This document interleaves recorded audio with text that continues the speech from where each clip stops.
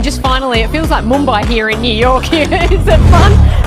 I mean, it's really fun. Uh, you know, I mean, uh, you know, it's always fantastic to see uh, the crowd always comes and supports us. Um, you know, we Indians are everywhere. Um, you know, we rule the world. So. Uh,